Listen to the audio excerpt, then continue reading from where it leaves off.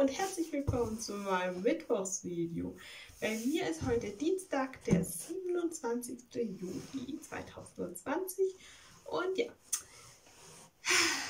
ich sag euch, bei mir hier im Gang ist gerade gefühlte 6 Milliarden Grad heiß, aber man muss sagen, so an und für sich war es ein relativ äh, kalter Sommer. Also es war jetzt nicht so, dass man wie beim letzten Jahr, dass man gefühlt bei jedem Meter geächtzt hat, sondern es war wirklich eigentlich angenehm. Also ich mochte den Sommer bis jetzt. Also mal abgesehen vom Licht. Also ich mochte die Temperatur. Nur nachts, da ist bei uns in der Wohnung total dämpfig. Ich habe keine Ahnung, wie das geht. Tagsüber ist es voll okay und man schwitzt echt so gut wie gar nicht. Und dann nachts, wenn man eigentlich wenn wir lüften, und das ist ja der Witz, wir lüften wie verrückt und wir haben unser Querlüftding. Und trotzdem ist nachts eigentlich immer okay, viel warmer. Ich habe gerade eine Idee. Ich könnte ja trotzdem mal einmal den Ventilator anschmeißen ab jetzt. Ähm, ja. Entschuldigt, das ist mein Knie. Wenn ihr möchtet, kann ich, kann ich da voll den Smiley drauf malen. So. ja, äh, ich tue es ein bisschen runter. Äh. Heute ist das erste Video nach meinem Geburtstag und ich bin noch total überm Schlaf, muss ich zugeben. Also bei mir Status ähm, Update. Ich könnte gerade in die Ecke liegen und irgendwo wegpennen, weil ich habe an meinem Geburtstag äh, bis zu meinem Geburtstag habe ich schlecht geschlafen. Dann danach am 25. war ich verabredet, am 26. und heute am 27. ebenfalls. Und äh, deswegen konnte ich keine Schlaftablette nehmen. Jetzt werde ich das dann morgen machen, also heute Abend machen und dann schlafe ich den morgigen Tag durch. Da bringt mich keine zehn Pferde dazu, auch nur im Ansatz aufzustehen. Mhm. Ja. Morgen wird mein Schlaftag. Mhm. Ja gut, aber darum soll es ja jetzt nicht gehen. Ähm, ich habe heute, heute mal wieder ein paar Themen mitgebracht. Oder besser gesagt, ja, sind. Also da ich ja heute zwei Videos drehe, sind zwei Themen, aber ich habe jetzt fürs erste Video nur ein Thema. Und zwar dachte ich, ich erzähle euch mal so ein bisschen was zum Thema. Ähm, ich weiß nicht, wie ich das jetzt oberflächlich nennen soll, aber ich habe was Interessantes bemerkt. Also für mich zumindest. Das ist meine persönliche Beobachtung. Und ich kann jetzt nicht sagen, ob das andere auch so wahrnehmen, aber bei mir ist es so, dass ich das jetzt gerade extrem so wahrnehme. Also heute war es so, dass ich dass meine Mutter mich angeplafft hat. Sie hat es nicht mal bemerkt erst und dann bin ich gegangen und dann hat sie anhand dessen, dass ich weggelaufen bin, hat sie es dann doch bemerkt, dass da was wohl war. Und dann ist sie zu mir gekommen, hat sich zu mir gesetzt, ganz freundlich und hat mich dann, obwohl ich eigentlich gerade schlafen wollte, ich habe mich von Nickerchen hingelegt, hat sie mir erstmal ähm, ein Ohr wegquasseln wollen und wollte, wollte jetzt in dem Moment besprechen, was los ist und hat zu mir gesagt, es tut ihr leid, Entschuldigung. Und dann ist mir klar geworden, Entschuldigung ist eigentlich eine interessante Sache, also so an sich eine Entschuldigung, weil, das habe ich schon öfters beobachtet, viele Leute glauben, mit einer Entschuldigung ist der andere verpflichtet, die Entschuldigung anzunehmen. Aber, und das ist jetzt was, was ich jetzt, worauf ich aufmerksam machen möchte, man muss Entschuldigungen nicht annehmen. Man kann auch einfach sagen, nö, ich habe keine Lust, diese Entschuldigung anzunehmen und nö, ich bin jetzt einfach gerade knatschig. Weil man muss eine Entschuldigung nicht annehmen. Und ich weiß, es klingt jetzt total komisch, wenn ich das, also ich bin 27 und sag, und sag euch, meine neueste Erkenntnis des Tages ist, ähm, man muss eine Entschuldigung nicht annehmen, wo viele Leute sagen werden, ja, das weiß ich schon seitdem ich vier bin, aber ich neige dazu oft Dinge, die andere als offensichtlich betrachten, nicht zu erkennen, weil das so vor allem Bezug auf Zwischenmenschliches. Und ich dachte bisher immer, wenn man, wenn sich jemand entschuldigt, dann nimmst du die Entschuldigung an und dann äh, kannst war ich aber meistens trotzdem noch verschnieft. Also ich gebe es ganz ehrlich zu, ich hatte selten Tage, wo jemand gesagt hat, Entschuldigung, und ich gedacht habe, boah, ja, total toll, ich bin jetzt voll, ist wieder alles voll in Ordnung. Sondern mir ich habe oft einfach dann gesagt, ist ja okay, aber in Wirklichkeit habe ich mir gedacht, du kannst mich mal kreuzweise. aber diese Erkenntnis heute zu gewinnen, man kann auch einfach mal sagen, nö, ich will die Entschuldigung jetzt nicht annehmen. Nö, ich habe jetzt auch keine Lust, die Themen zu besprechen. Das war für mich irgendwie so eine Sache, die, ja, es war einfach, es ist einfach interessant. Es ist auch was Neues für mich. Es ist so, es gibt so viele Sachen, wo man sagt, ist ja offensichtlich, die man erst mit Jahr, Jahre später entdeckt. Ich habe auch, oh, das, ich weiß, das ist jetzt für viele, die jetzt neu auf meinem Kanal sind, total komisch.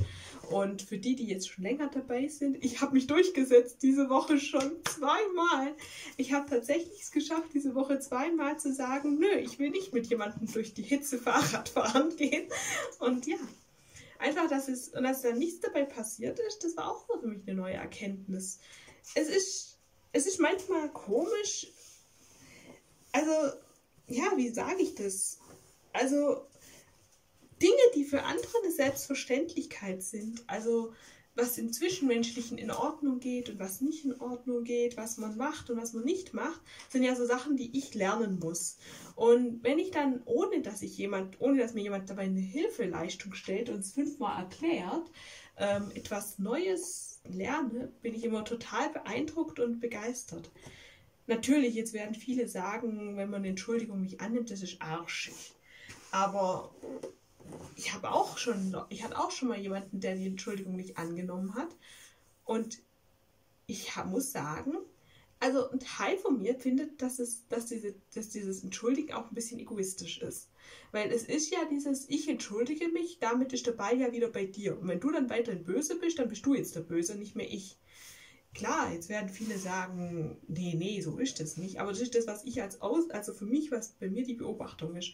Also ein Beispiel. Jemand baut Mist und nimmt dir, isst dir letzten, das letzte Stück Kuchen weg. PS, Papa hätte es nicht essen sollen.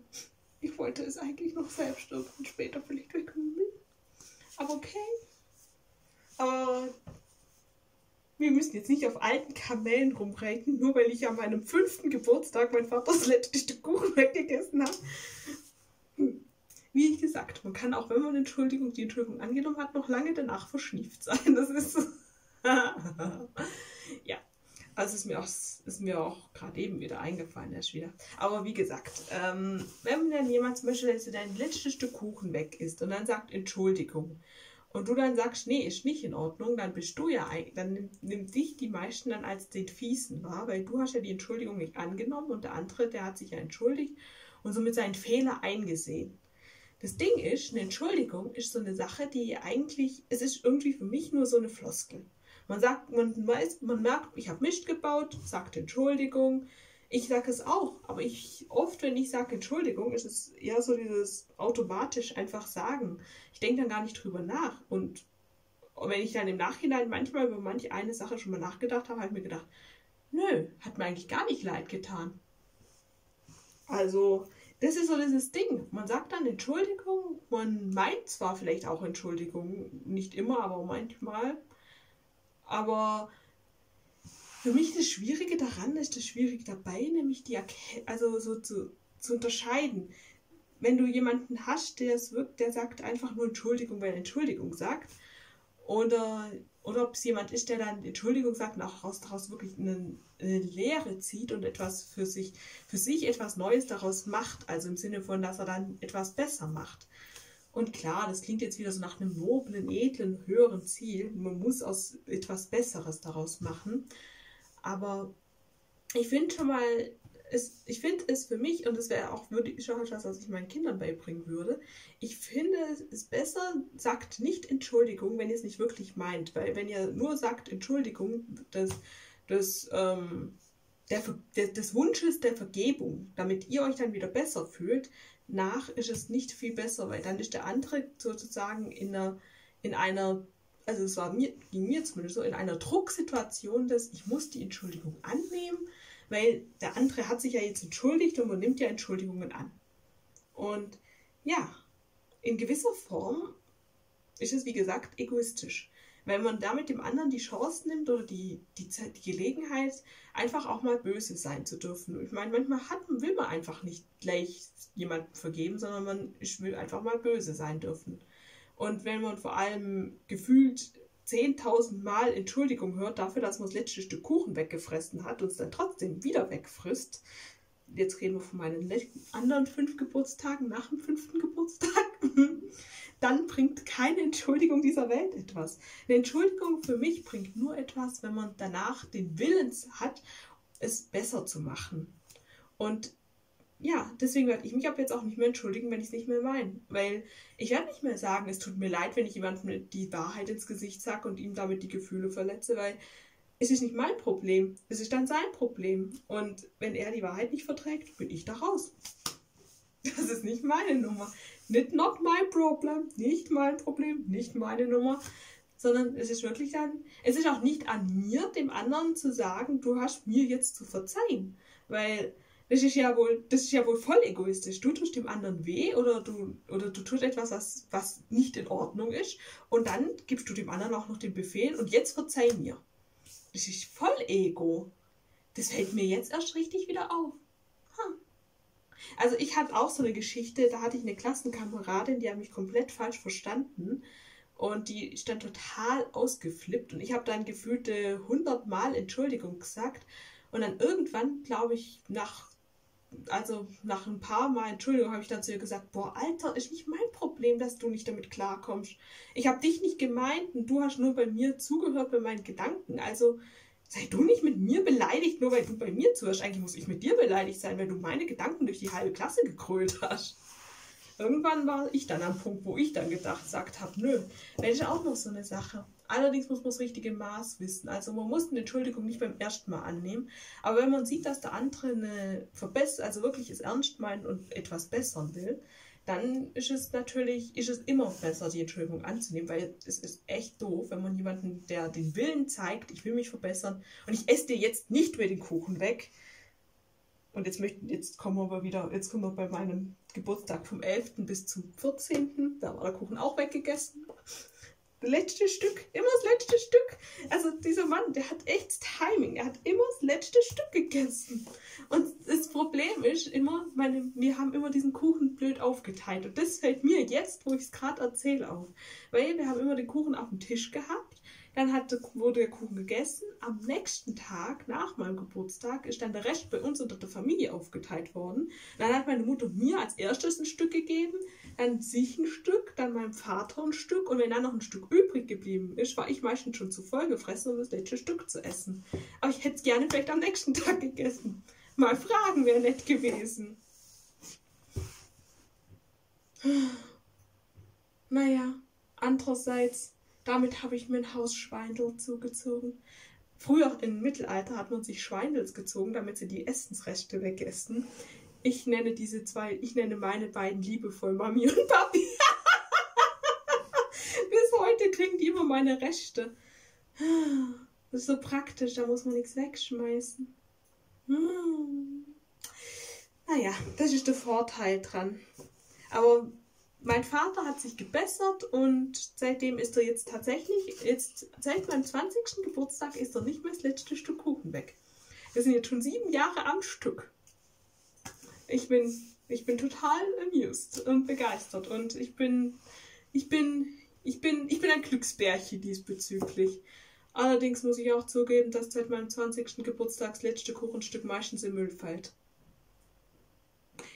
Ich merke gerade eine Kausalität dazwischen. Ich merke da was gerade so, weil ich drüber nachdenke. Ah.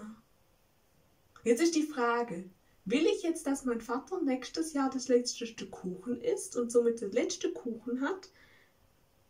Also, mein Gott, ich laber schon voll lange, aber, aber ich habe mich auch voll, glaube schon dazwischen ver, verhaspelt ein paar Mal.